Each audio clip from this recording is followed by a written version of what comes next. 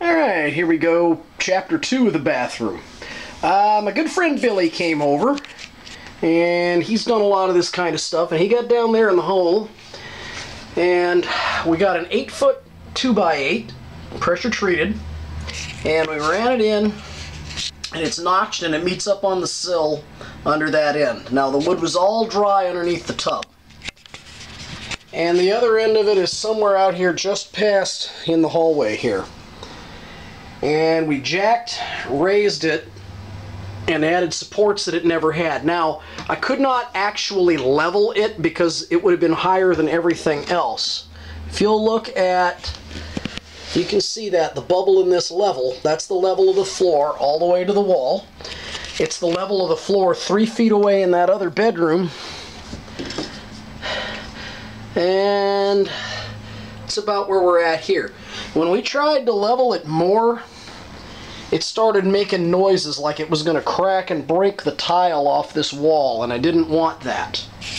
Then we'd have problems with the door fitting and everything else. So, anyway, thanks to Billy coming over and helping me, that made it a much better, easier job.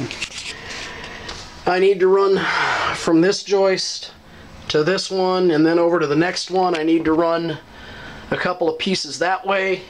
I need to square the hole up and I'm going back with pressure treated plywood and then it's going to have the thin, I call it Hardie board or cement board over the top of it and then we'll be going back with a tile, a much bigger like an 8 by 8 inch tile laid diagonally like uh, what we used to have in here.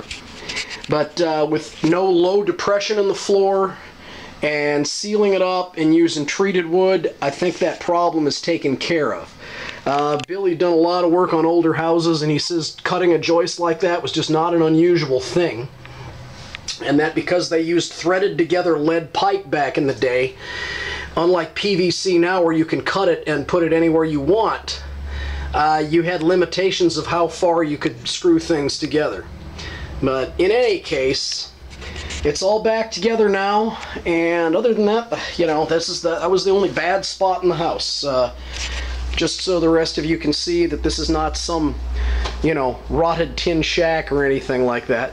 So, anyway, that's it for this installment.